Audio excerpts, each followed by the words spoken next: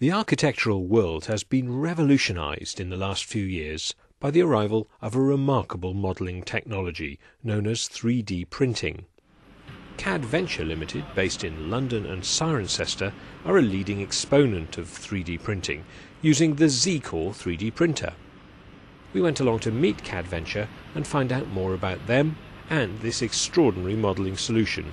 CAD Venture's uh, been going since 1989 and we've been uh, we came from a, a graphics background. Um, all the people within our company are architects or, or have been architecturally um, involved or active in the graphics industry itself. And we are a company that's always been uh, a hands-on company. So the products we sell are things we've either used in the past or that we choose by choice for the things that we're doing ourselves. Tell me about the services that CAD Venture offer. We have several things. We're a training company, a software supplier, consultancy on those products that we supply, and we also sell 3D printers and do bureau work for those. Why did you choose to distribute and sell the Z Corp 3D printer? We'd been looking at a number of rapid prototyping technologies in, in, whilst we were exploring what was available in the market. And I think the Z Corp 3D printer stood out shoulders above the rest of them. We were looking for a ma machine that was affordable and could produce fast product for our architectural community. And the Z Corp one was the only one that really came up to that uh, requirement. One of CADVenture's clients is London-based architectural firm Shepherd Epstein Hunter, who've been using the Z Corp printer for some time. One thing which has been really beneficial is that it's enabled us to uh, produce models very quickly. Um, so if we do have um, a competition or um, an interview with a client and we've done a basic design for it, it enables us to quite, quite quickly produce a model Um, so we could be working up to the evening before the interview or competition um, interview and then produce the model in a 3D printer overnight. And it enables the client to, um, to really visualise the building in 3D or, the, or the, the concept for the scheme in 3D. You can pick up minute details and particularly repetitious details very quickly. So if you were making a manual model, for example, of this building, you'd have to produce 400 separate windows, whereas within, as you're sending it through as a computer model, it would do that all in one go. So it would produce that in about a couple of hours, and manually it would take you a lot longer.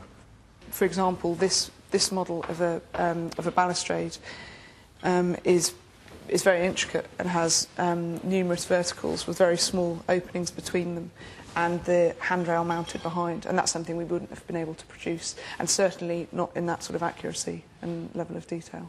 What we're trying to do is make model making something that you don't think about, do I need to do it? It's why wouldn't I do it? Because if the cost of producing that part is as cheap as it is, then you would do it without hesitation. If you go to a model maker, they'll make you a great model, but there is a cost involved. And there was something that happened recently. We had um, a client who was looking at perhaps buying one of our machines and our largest machines. And the amount of money that the machine cost is what he paid the model maker to make the model that he required for the project. And I think that kind of sort of sums it up. The, the model he, the model makers made was brilliant.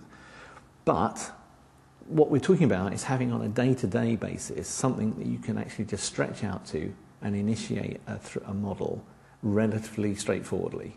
The colour um, capability enables us to be able to um, quite intricately colour elevations. Often this is used in a more diagrammatic way for, um, for clients to see which materials would be um, applied where on elevations.